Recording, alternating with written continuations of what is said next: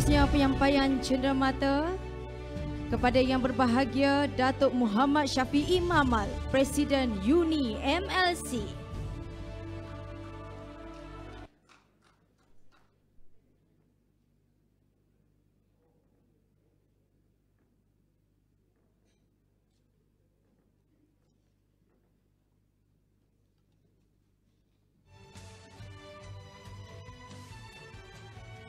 Terima kasih buat yang bagi Datuk Muhammad Syafiee di atas kesudian hadir ke majlis ini.